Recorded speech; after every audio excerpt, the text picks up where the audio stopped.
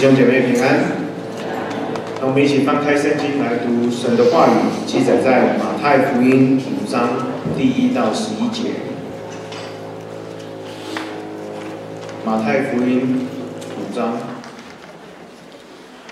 第一节，耶稣看见这许多的人，就上了山，既已坐下，门徒到他跟前来，他就开口教训他们说。虚心的人有福了，因为天国是他们的；哀动的人有福了，因为他们必得安慰；温柔的人有福了，因为他们必承受地主；饥渴慕义的人有福了，因为他们必得饱足；连续人的人有福了，因为他们必蒙连续；清心的人有福了，因为他们必得见神；使人和睦的人有福了，因为他们必称为神的儿子。为因受逼迫的人有福了，因为天国是他们的。人若因我辱骂你们、逼迫你们、捏造各样坏话毁谤你们，你们就有福了，应当欢喜快乐，因为你们在天上的赏赐是大的。在你们之，在你们以前的先知，人也是这样逼迫他们。愿神祝福听他话语的人。接下来我们啊要邀请啊江牧师来为我们正道，正道的题目是成为有福弟兄姐妹平安。在我们预备要进入迎接复活节、进入这个受难节的时候呢，我们要来思想耶稣。在马太福音第五章到第七章，是耶稣正式服侍的一个演说。就像每个元首要就任之前呢，都有一个重要演说一样。耶稣其实话不多，你看耶稣在钉十字架呢，只讲了七句话。可是难得在圣经当中呢，马太福音第五章到第七章一口气呢，在山上说了这登山宝训。耶稣多次说了，凡有耳的就应当听。而这开门见山呢，耶稣的不啰嗦，讲到八个有福气的人。因为神正在呼召一群按着天国价值观生活的子民，我们一同来祷告。慈爱的天父，我们向你献上感恩，主啊，求你预备我们的心。当我们聆听你的话语，主要这圣经这圣经的话要进入我们的生命，主啊，谢谢你荣耀的同在，主啊，你的爱充满在这个会堂里，主让我们凡听见。和讲的都同盟益处，如此感恩祷告，奉耶稣基督的名，阿门。这登山宝训的内容呢，是关乎天国子民生活的状态，以及如何彼此的对待。这八个福呢，前面四个福讲到我们与人、神、人跟神之间的关系，而后面四个福呢，讲到人与人之间的态度。好耶稣说呢：“我的国不属这世界。神正在呼召一群以天国价值观生活的天国子民。首先呢，是要舍弃世界对成功的定义，取而代之的是从神领受，透过耶稣基督所赐给我们丰盛的生命。耶稣在山上向门徒所说的八福，有别于世界的价值观，能使神的儿女避免进入。”骄傲的网罗能脱离世界的引诱。我们现在要一一来看这八福。虚心的人有福了，因为天国是他们的。虚心就是在神面前承认自己灵里的贫乏，不只是谦虚，而是要在灵里倒空一切。因为恩赐、能力和智慧都是来自于神，我们亦无可夸。司布真说呢，要得着天国，先降卑自己。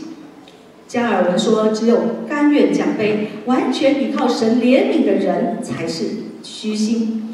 而虚心的相反，就是属灵的骄傲。我们不要以为自己已经得着了，而是要有一种神圣的不满足，爱主更深。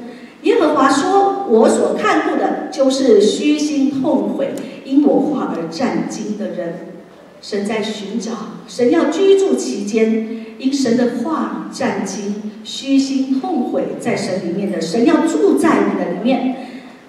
使徒约翰写启示录的时候呢，向这个老李家教会说：“你说我是富足，已经发了财，一样都不缺，却不知道你是那困苦、可怜、贫穷、眼下赤身的。我们以为我们什么都有，我们每日以继夜的来追求这世上的富足。可是，当我们反观自己的灵命，我们是否就是像那困苦、可怜、贫穷、眼瞎、赤身的呢？我们要来到神的面前。让神来医治我们，充满我们。虚心的人有福了，因为天国是他们的。神要把天国赐给凡虚心寻求他的人。当我们先承认自己邻里贫穷，便能投靠那永不匮乏的神，愿意放弃接受世上富足的定义，就不会被世界的价值观奴役。我们为何辛苦？为何忙？很多时候，我们是被这世界的价值观所奴役。我们对于所拥有的东西无法感恩，我们对于得不到的东西在那里叹息。什么时候我们可以回转归向神，为你所拥有的感恩，为你没有得到的也向神感恩呢？天国是他们的，在马太福音二十五章三十四节说到：“你们这蒙我父赐福的。”可以承受那创世以来为你们预备的国，天国的子民所要承受的是神在创世以来为我们所预备的国。你预备好要进去了吗？在十八世纪，有一位神所重用的仆人阿克里威廉，他没有学位，非常的贫穷，没有显赫的家世。十四岁就在鞋当鞋匠的学徒，可是呢，在这教会历史当中呢，却被称为现代宣教的运动之父。他十四岁的时候在鞋匠当学徒，有人跟他传福音，他信了主。但是呢，他信主之后，看到这个英国的教会有一个现象，就是不传福音。他们说呢。上帝如果要一个人信主啊，上帝自然有办法，不用我们操心。可是当克里威廉信主之后，他为主大发热心，他巴不得去宣教，巴不得去传福音。有时候他向教会的牧师反映，牧师说：“年轻人，请你坐下，啊，就不用为上帝的事情来烦恼。”但是呢，就在这当儿，神的灵感动他，他后来当了这个牧师，他为神大发热心。他说呢。我要向神呢求大事，为神做大事，就是让神的旨意能够成全在他的生命当中。而且在圣经中的大使命呢，不是只为牧师说的，而是为人人说的。克里威廉呢，他就付出这样一个实际的行动。在一七九三年的时候呢，他带着全家跟一个医生的家庭呢，就离开了英国。搭船六个月，到了印度的加尔各答。他在印度呢待了四十一年，在那里发生了许多的影响力。他在那里呢，把这个蒸汽机的这个技术呢带到了这个印度，并且呢，神给克里威廉有一个语言的恩赐，他在那里翻译圣经呢，翻译了都四十多种的译本，并且呢，在那里为女子创设学校。也在那里呢，开设了第一间的图书馆。神使用一个没有学位、身世也不显赫的人，只是虚心的愿意在神的面前说：“神啊，我愿意。”神就大大的使用他，在他的一生结束的时候，在他的墓碑上写着：“我是一个可怜、贫穷、无助的小虫，有幸落在主慈爱的宝贝中。”是神的手托住了他，是神使用了他。克里威廉他虚心的态度，领受了天国的福分，也为这世人带来了开启了这个宣教的运动。接下来我们要看哀痛的人有福了，因为他们必得安慰。哀痛是指着为了灵性的失败和实际的过犯而感到悲伤。为了灵性的失败而实际的过犯，世人都犯了罪，亏缺了神的荣耀。当圣灵光照我们的内心，我们都是罪人，我们畏罪痛悔，就必是从神那里得着安慰。耶和华靠近伤心的人，拯救灵性痛悔的人。一首耳熟能详的诗歌叫做《奇异恩典》，的作者呢是约翰牛顿。约翰牛顿的一生呢非常的传奇。我们从上面的几个标题，我们会觉得这些标题怎么可能在一个人的身上呢？他曾经是非洲奴隶船的船长，也曾经在黑奴的手下做奴隶，后来成为了废除黑奴的发起人，又成了谆谆教诲的牧师。他的一生就在这个《奇异恩典》这首诗歌当中被世人所传颂着。约翰牛顿他出生的时候，他的母亲是一个虔诚的基督徒。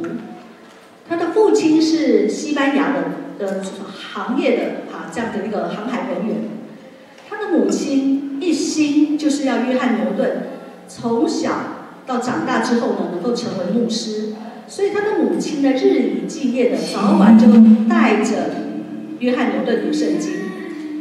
他的母亲带着约翰牛顿一岁到七岁的时候，每天陪他读经祷告。可是，在七岁的时候，他的母亲病逝了，给约翰牛顿带来了不少的打击。从此，约翰牛顿的一生，在十一岁的时候，跟着父亲到船上漂泊，在那里染上了许多的恶习。他把母亲的教诲抛诸脑后，甚至他在当兵的时候逃兵，被抓回去，一直到服完兵役之后呢？他退伍之后呢，就上了一个贩卖黑奴的船上，成了船长。可是，在一次的一个争斗之中，他竟然成为黑奴的奴隶。黑奴叫他做打扫的工作，他就做打扫的工作。过去奴隶听他的话，现在他成了奴隶的奴隶。就在这样痛苦不堪的时候，他的父亲打听到约翰牛顿的下落。派船去把他从非洲要救出来，就在从非洲到英国的这海上期间，遇到了极大的风浪，他的性命几乎不保。就在船上的时候，他向神深深的痛悔：我是个大罪人。即使在约翰牛顿他年老，他的记忆力快快要消退的时候，他曾说。我仍记得两件事情：一，我是个大罪人，耶稣基督是伟大的救主。我如此的不堪，亵渎神，如今我成了现在的人，都是神的大恩把我救回来。他母亲的祷告在三十年后成就了，约翰牛顿成了英国圣公会的牧师。成为了废除黑奴的发起人，他穷尽一生在那里奔跑，在那里宣讲，因为黑人曾经这个奴隶曾经跟他说：“Am I not a brother and man？” 难道我不是人？难道我不是你的弟兄吗？深深的扎了他的心，为罪痛悔的人，神必从神得着安慰。神如今。也在向我们的心说话。当我们愿意为罪痛悔，我们必从神得着安慰。神所要的记，就是忧伤的人。神啊，忧伤痛悔的心，你必不轻看。感谢神，何等盼望的诗歌，奇遇恩典，如今也发生在我们的中间，不是吗？温柔的人有福了，因为他们必承受地土。温柔是圣灵的果子之一，是重生的记号。温柔的属灵品格可以拓展神国的疆界。温柔是圣灵的果子之一，这不是我们自己做成的。乃是因为将主权交给神，愿意降服在神的全能底下，所产生的一种生命状态。温柔的人不会跟神阿女，你为什么这样造我？你为什么给我不公平的处境？温柔的人能够接受神所允许的任何环境，正如大卫说：“因我所遭遇的是出于你，我就默然不语。”蒙了赦罪之恩的人，是乐意饶恕别人的人；生命重生的人，不计算人的恶；温柔的人，不轻易发怒，时时向神感恩。温柔也是一种驯服，被神的爱所驯服。他的性情刚烈，他能够控制舌头。在诗篇三十四篇说到：“有何人喜好存活，爱慕长寿，得享美福？就要禁止舌头不出恶言，嘴唇不说诡诈的话，心中充满了，口中就说出来。”当我们心中温柔谦卑，我们就能够在神和人的面前得着福分。刘明和牧师的母亲曾经恳切的祷告，用温柔的爱，终于唤醒了迷途的浪子悔改。刘明和牧师呢，他是晨曦会的创办人，可是在他年少轻狂的时候。曾经落入这个吸毒的网络，也喜好打斗。有一次呢，为了抢地盘，跟这个黑道的老大呢在那里斗殴，甚至被打断骨头。有一天呢，有一群人呢把这个刘明和牧师带到山上，把他打得昏迷不醒。可是呢，吵醒了这山上人的亲近呢，就赶快报警。把他送到医院的时候呢，当刘牧师睁开眼睛。看见他的母亲呢，跪在他的床边，十指紧扣，在那里为他祷告。他的母亲就劝他说：“儿子啊，恨不能解决事情，只有爱能弥补恨。妈妈爱你，耶稣也爱你。”刘明和牧师说：“如果当时母亲打他骂他，他都觉得心里好受一点。”可是母亲用这样温柔的话语劝他，让他觉得内疚又羞愧，所以在他当下，他就有一个深深的痛悔。神的温柔进入他的里面。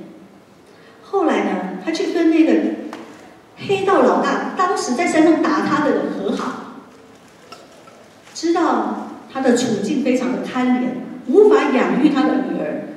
刘明和牧师甚至把他收为自己的养女。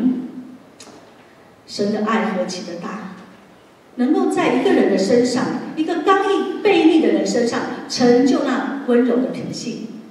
后来，刘明和牧师他被神大大的使用，在二十六年间，在国内外建立了十八所的戒毒中心，用福音戒毒救了许多人。这是他的母亲以温柔的生命所带出来的见证。饥渴慕义的人有福了，因为他们必得饱足。人以吃喝来维持生存，饥渴是每个人都容易体会的感受。基督徒的灵命呢，要靠吃属灵的食物才能长大。有许多基督徒信主很久，可是灵命像个孩子。主要原因就是没有属灵的胃口，没有吃生命粮，所以呢灵命就长不大。这救恩可以免费得到，可是救恩的代价极大，是耶稣基督用宝血所换得。我们渴望更多的认识耶稣，如饥似渴的要来得着耶稣，这是天国子民生命的一个特征。而饥渴慕义的义呢，在圣经中有三种意思。第一个是人和神之间正确的关系，第二是讨神喜悦的品德和行为，第三帮助人从逼迫中得释放。一个饥渴慕义的人，他爱慕神公义的法则，也不耽误自己的事，他也会关心这社会上公义的事。饥渴慕义的人，他必得饱足。这当中呢，有几个。字要让我们来思考。第一个是饥，哈，就是邻里饥饿，我们来求吃生命粮。耶稣说：“我就是生命的粮，到我这里来的必定饿。你饿了吗？这世界上有许多的广告吸引你，用行动来填满自己的肚腹。可是今天，神的灵也在呼召他的百姓：你的灵里饿了吗？你有饥饿感吗？我们这个饥饿感呢，这一旦发动之后呢？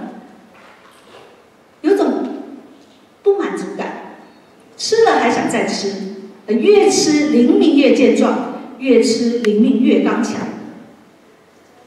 我们要有一个饥饿感，在属灵的饥饿感当中，我们就会来寻找神，我们就会来遵行神的话。而渴呢，就是灵里的干渴，渴望遇见神。耶稣说：“信我的，永远不渴。”信心的行动就是来寻找神。耶稣曾经对撒玛利亚妇人说：“人若喝我所赐的水，就永远不渴。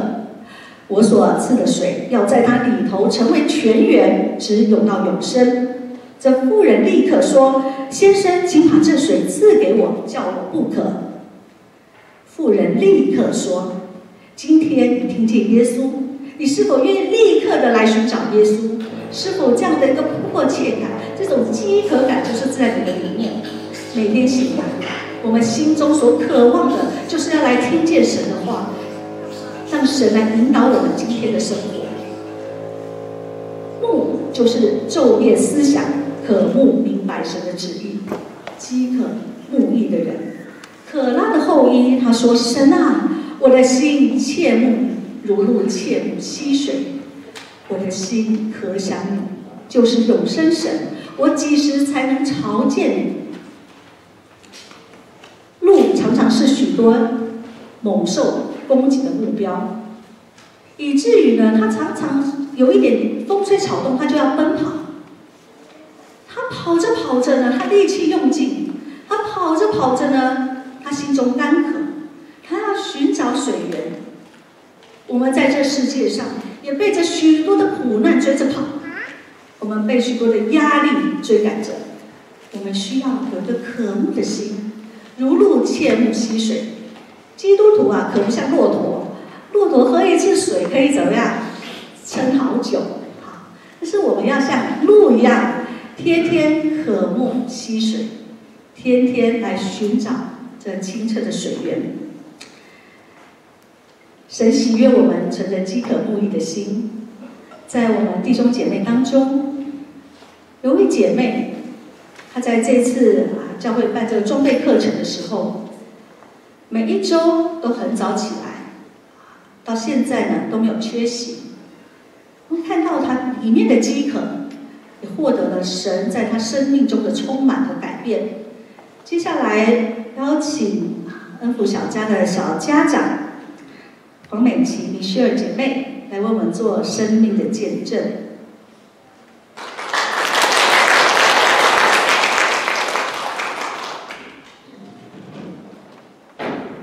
弟兄姐妹平安。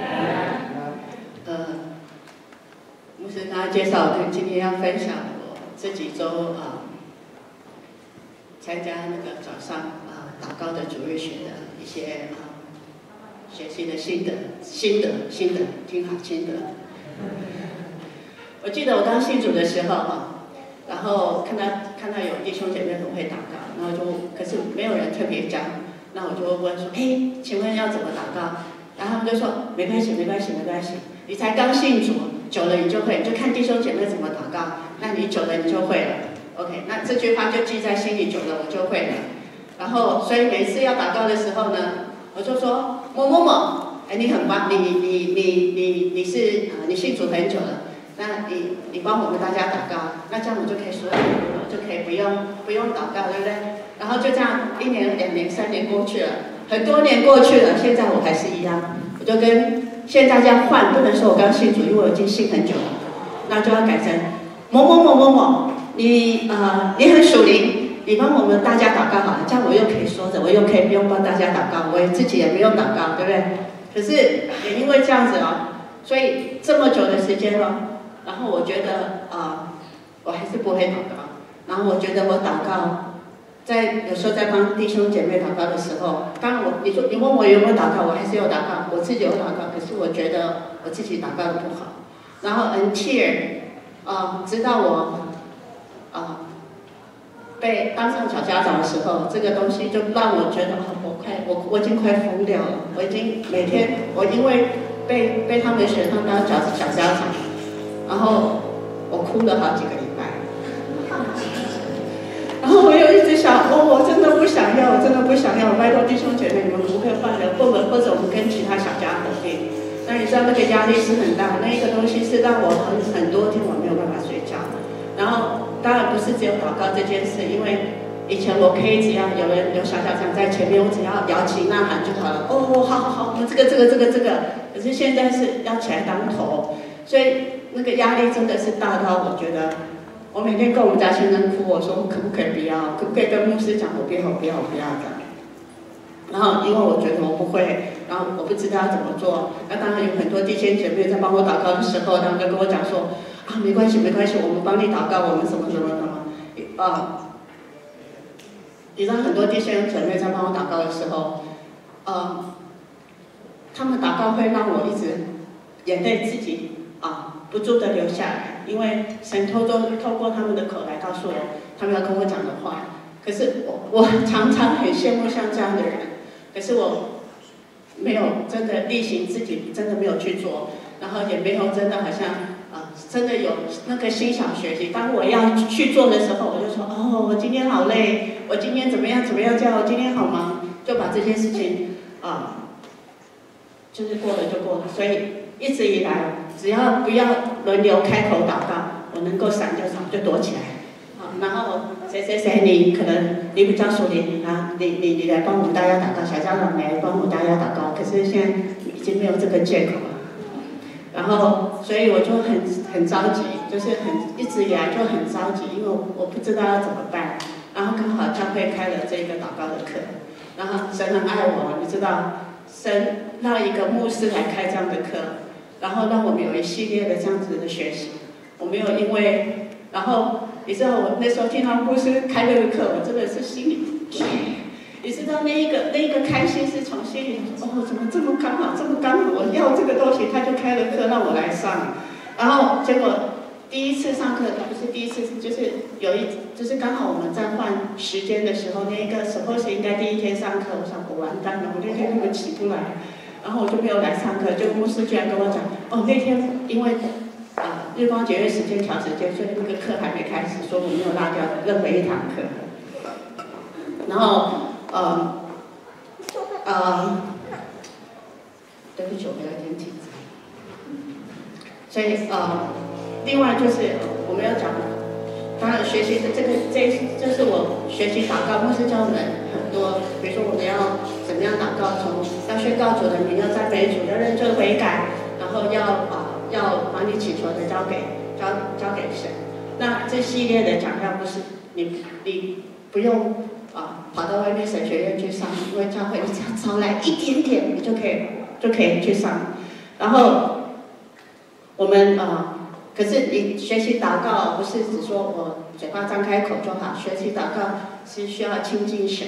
那亲近神是学，然后学习祷告也是需要操练，不是说啊，你今天你你祷告嘴巴讲讲讲讲讲，可是你里面没有内容。那怎么样亲近神？亲近神就是，啊，你要真的要花时间读圣经，真的要花时间读经，你才能够知道神要跟你讲什么，那你才可以帮怎么样去帮啊呃你自己的弟兄姐妹怎么样帮他们祷告。那我们小家从去年开始。啊，我们完成一年读经计划，然后今年是迈向第二年，我每天一天差不多读三个三节三章，三章不是很多。今天你如果真的很忙落掉，你明天还是可以 pick up。然后在这里鼓励大家，如果你想要跟我们一起读的，因为一个人读哦，我们以前经常一个人读，读到一半就没了，读到几个章、几个几个几个书卷就没了。那如果大家一起读的话，很容易鼓励弟兄姐妹。大家彼此鼓励，然后就可以把你呃圣经很快一年很快就过去。你看我们现在是四月了，我们今天读到啊上末记下，好像第十章到第十第十章到第十二章，那如果你有兴趣的话，我可以教你。我早上可以 send 那个，就是今天读经的进度给你。然后另外另外还要跟大家，因为啊牧师的课还有三堂课，那这三堂课呢，你前面没参加没关系，牧师有讲义。后面的三节请你不要缺席。如果你有兴趣的话，像像跟我一样的话，我当然我还在学习。可是如果你真的有兴趣的话，真的是鼓励弟兄姐妹一起来，一起来啊，一起来学习这个祷告，怎么样可以祷告。然后另外一个好处是早上八点半教会没什么人，你可以选你自己要的 parking spot，你可以选你固，那以后就变成你的固固定停车位，就像牧师一样，牧师有牌，你没有牌，可是那个就是你的停车位。然后另外要讲一个啊。另外要跟大家要讲一个东西，这个比喻就是说，我们读经祷告亲近神，就好比我们去参加旅游，你可以你可以到此一游，或者耶，你也可以深度旅游。那深度旅游是要花时间的，深度旅游是要你花时间去去每一个地方好好细细的看，你才有办法深度旅游。好吧，那就这样跟大家分享，谢谢。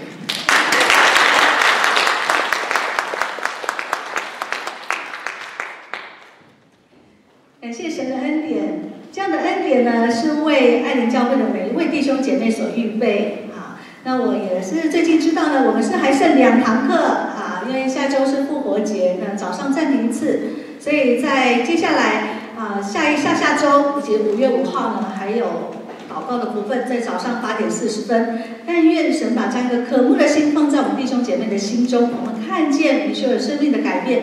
看见他承担一啊一个小家小家长的一个责任，神也把那个恩赐赏赐给他。接下来我们要来继续看这八福当中，我们刚刚前面四个福讲到人与神之间的态度，我们来复习一下。虚心的人有福了，因为天国是他们的；哀痛的人有福了，因为他们必得安慰。大家还记得吗？饥渴慕义的人有福了，因为他们必得饱足；温柔的人有福了，因为他们必承受地土。温柔的人可以得着神国的疆界，他接受神所兴起的环境，也能够把这生命的影响力传给别人。接下来我们要看四个人与人之间的关系。连续人的人有福了，因为他们必蒙连续。怜悯是来自一种同情的感觉，表现在慈悲的行为上，是天国子民的特性与天赋的性情有份。怜悯可以除去冷漠和自我中心。有怜悯心的人呢，他是一个情感丰富，能体会他人处境，虽然有时会牺牲自己的权益。连续人可以拆除人与人之间心的距离，化解孤独感。四福音书当中呢，多处的记载，耶稣基督动了慈心。这动了慈心呢，就是怜悯。例如，在这个耶利哥的两个瞎子呢，都动了慈心；对这个长大麻风的人呢，动了慈心；看见拿因城的寡妇丧子之痛所流的眼泪，也动了慈心。在旷野面对众人，仿佛一群羊没有牧人一般，也动了慈心。我记得我长子啊，我长子现在已经读大学，在旧金山。我记得他小学二年级的时候，当时他生活是在台东。有一天呢，我开车去接他放学的时候，哎，我们正要离开，就发现门口还有一个哎弱小的孩子在门口等待。可是我们看见学校已经没有什么人了，所以就。担心他的安全，就停下来，就问他说呢：“今天有没有人会来接你啊？”哎，我儿子呢就说呢：“这个孩子呢是他的同班同学。”后来呢，我就想说：“哎，是不是我们陪他一下，等家长来？”没想到他的回答就让我吓一跳。他说呢：“嗯，我的妈妈呢每一天工作要十一点才会回家，晚上十一点才会下班，所以呢，我不知道今天呢。”妈妈找谁来接我？如果没有人来接呢，我就自己走路回去。哦，我一听就说：“哦，那请问你家离这里多远呢？你走路要多久呢？”他跟我说要一个半小时。哇哇！当时我的心呢就很舍不得，我就说呢，我的手机借你打电话给妈妈，好，问妈妈说今天有没有人来接你？如果没有人来接你，阿姨可以送你回家。后来呢，这电话接他呢就打通了。打通的时候，原来他妈妈呢是因为遇到月底要盘点商品，就太忙了，他就忘记了，忘记安排人来接他。哇！我听我就接过手机，我就自我介绍，我就说啊，我是他同学这个同班同学的这个家长，好，也是班上的义工妈妈。啊，我是某某某。我说你是否同意我送你的儿子回家？那他的母亲的电话那一端，就听他那 哽咽又感动的声音。好，那你知道呢？走路回家的路跟那个开车的路是不一样的哦。所以这个孩子在带路的时候，他只认得这个走路回家的路。所以我那时候十几年前，我也没有 GPS，经过了几番的折腾，经过了一些乡间的小路，哎，终于平安的送他回家。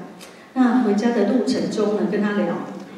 才知道说，原来他的父亲到了外地去工作，然后他和母亲一起住，然后还有一个年幼的妹妹呢，送到外公家。后来有一个时间呢，我跟他的母亲啊相约见面，我就跟他母亲说，呃，以后的他的孩子放学呢，可以来我家写功课，啊，那写完呢，我再送他孩子回家。那如此呢，他的孩子就不用回家之后呢，孤单一人。那这也在台东当时关怀协会发起的一个起头。好，那我向这个孩子传福音，他高中的时候呢，啊，就成为基督徒，啊，我的心特别的高兴。当我的孩子渐渐长大，他们要到外地读书，甚至到国外读书，神也兴起很多有怜悯心的人啊，来连续我的孩子，煮饭给他们吃，带他们出去玩，关心他们，为他们祷告。所以我真是经历到连续人的闭蒙连续，神的爱无处不在。我们只要脱离自我中心，神把这个天国的福分赐给凡愿意遵行的人。接下来我们要看清心的人有福了，因为他们必得见神。清心是心灵纯洁、内在的纯洁，思想动机、想象方面的清洁。指道德上的圣洁和诚实，特别指到心中没有诡诈，为人正直。清心的人呢，心无旁骛，对属灵的事情有独钟，不被世界绚烂的灯光迷惑，也不在乎从人来的称赞，一心盼望见到神的荣耀。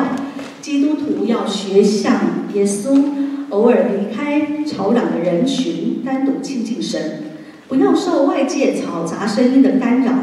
不被烦扰的思绪阻挠，听圣灵微小的声音，如此能够明白神的心意。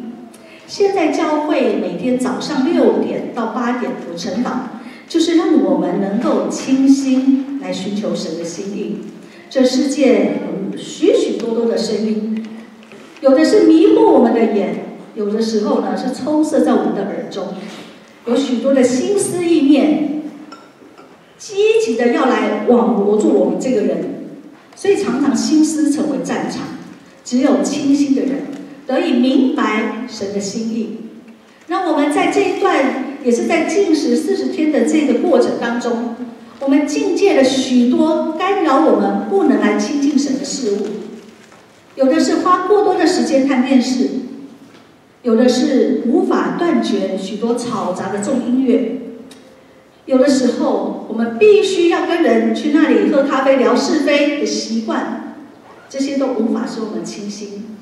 一个守节心清的人，可以明白神的旨意，这样的恩典，让我们都愿意啊来得到。我们接下来看使人和睦的人有福了，因为他们成为神的儿子，他们必称为神的儿子，因为耶稣基督在石架上已经。为我们成就了和平，所以我们务要追求和睦的事，与彼此建立德行的事。你们要与众人和睦，并要追求圣洁。非圣洁，没有人能建筑。在第一次世界大战的时候呢，发生了一件事情。当时他们以为这个战争很快就会结束，没想到呢，拖了四年。所以当时爆发的时候，在一九一四年的七月二十八号，有许多的士兵，他们认为，哎，今年圣诞节之前呢，这个仗就结束，我们就可以回家过圣诞节了。可是呢，这个战争持续不断，所以在战场上呢，有一年平安夜的时候，这个德国的这个士兵啊，他们的首先在这个战壕的当中呢，哎，用了一些树枝做了圣诞树，啊，然后上面放了一些装饰品。在平安夜的时候呢，这个德语唱出来的平安夜呢，哎，原来啊，这个德军呢，在那个战争当中呢，他们在过平安夜。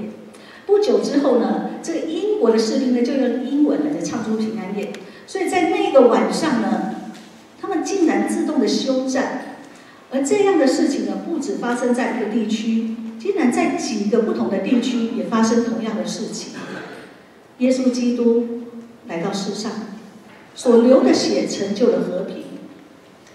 当然，那个战争可惜的是，他的那个上层呢，他们看重这个战争的结果胜于生命的价值，所以他们日后又打了这样四年才结束。可是这样的一个短暂和平，已经使人印象深刻。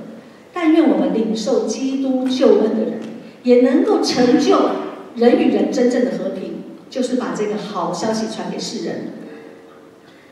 我们要看第八个福，为义受逼迫的人有福了，因为天国是他们的。人若因我辱骂你们、逼迫你们、捏造各样坏话毁谤你们，你们就有福了。因信耶稣遭遇逼迫，竟然也是蒙福的途径，可以想象吗？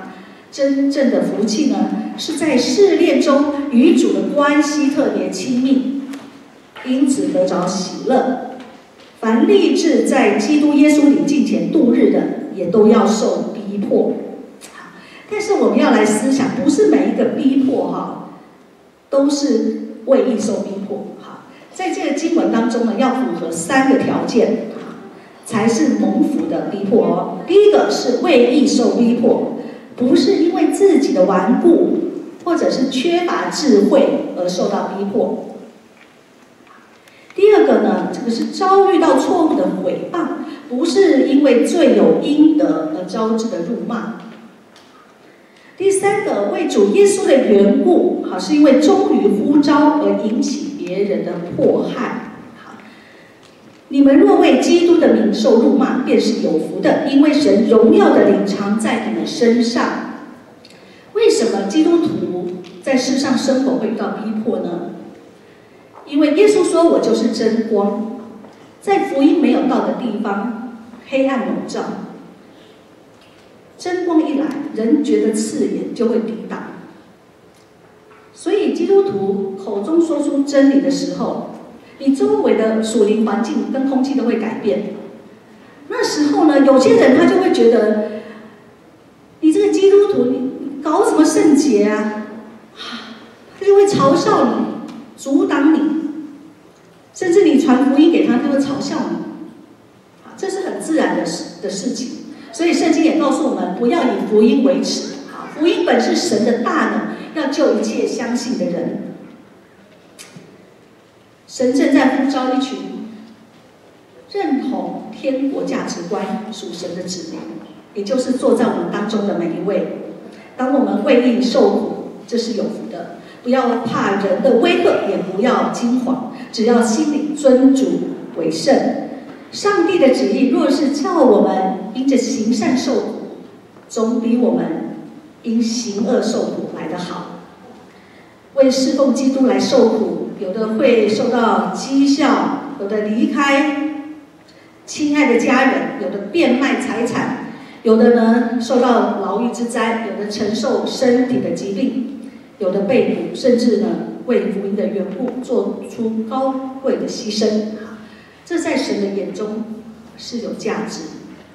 为义受逼迫的有福了。在中华福音神学院呢，有校训，他这样说的：他说，吃的苦，挨的穷，受的气，做的工。啊，做主的门徒不要怕吃苦，要有吃苦的心智，有吃苦的心智不一定会吃苦，但是如果你没有吃苦的心智，你就会在这属灵的征战中呢退步。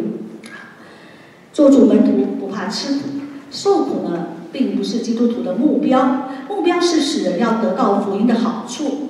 宣教士将自己的性命置之于不顾，享受在这与神同在的喜乐之中。神也在寻找愿意为主献上的人，直到如今，在青年使命团的这个创办人，他几乎到过世界上的每个国家传福音。在这里，他仍然在呼吁天国的子民脱离世界价值观的奴役，回转归向神。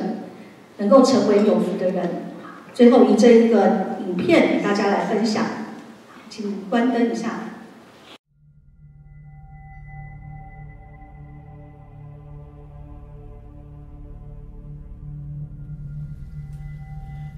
In the beginning, God created man in his own image. He walked with man in the cool of Eden, but sin interrupted that union. So God created the missionary. God said, I need someone willing to say no to the status quo, no to the dream of wealth, leave their families to fly to a distant land, and learn a language they have never heard, ride in cramped buses on backs of camels, someone who would sleep anywhere, eat anything, bear the heat, and fight the freeze with a smile on their face, just to take the gospel to a people not their own. So God created the missionary. God said, Because the harvest is plentiful, I need someone ready to sow the seed, to plow the ground, water the seed, and reap the harvest which is ripe someone to go and train, to multiply the crops, and to answer the call and pay the price. So God created the missionary. God said, I need someone who is a radical servant of all, taking the lowliest job, washing the feet of the poor, caring for the sick, and cleaning their wounds. I need someone to visit the prisoner, care for the widow and the orphan, to sit in the dust with a child and tell them that they are loved. So God made a missionary. God said he needed someone who would believe that blind eyes could see and lame feet could walk and that the dead could live again someone who would pray long hours and intercede through the night with wordless groans of petition so that one soul might be saved. God said, I need someone honest and brave, full of grace, mercy, and compassion, free from fear and passivity, walking in true identity someone burning with love and girded with truth, someone who radiantly reflects God's glory. So God made a missionary. God said, I need someone who would say yes before they were asked, someone who would go to distant islands, barren deserts, inner cities, closed nations, next door neighbors, and prestigious universities to reach the unreached. Who would hike any mountain and endure any obstacle? Because how will they believe in him of whom they have never heard? How will they hear unless someone preaches? And how will they preach unless they are sent? So God made the missionary.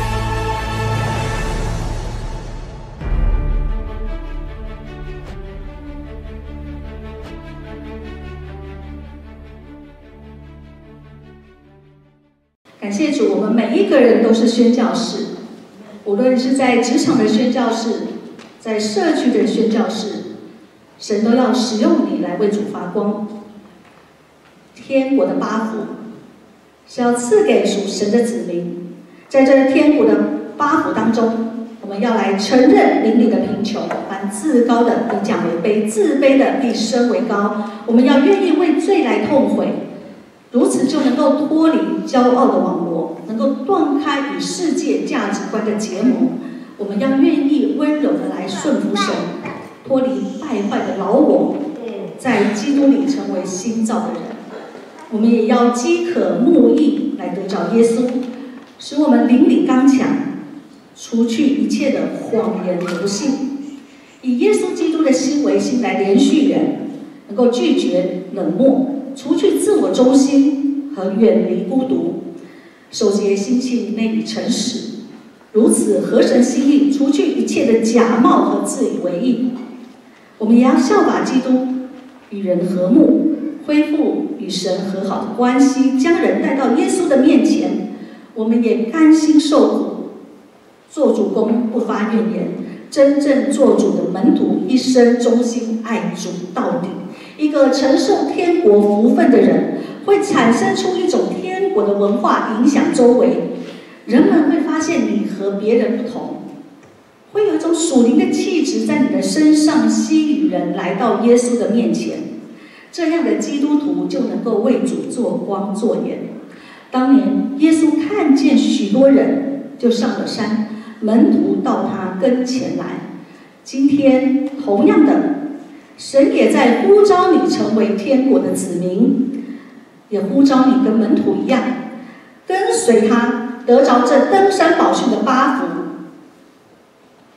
但愿你今天就成为有福的人。我们一同来祷告。慈爱的天父，谢谢你奇妙的恩典，今天临在我们的中间，打开我们的耳，打开我们的眼，主要让我们的心都来归向你，我们能够来领受这天国的福分，成为天国的子民，享受你为我们预备在创世以前要给我们进入的国。哇，谢谢你继续的来恩待我们，让真理在我们的生命中扎根。使我们成为你所喜悦的人，如此感恩祷告，奉耶稣基督的圣名，阿门。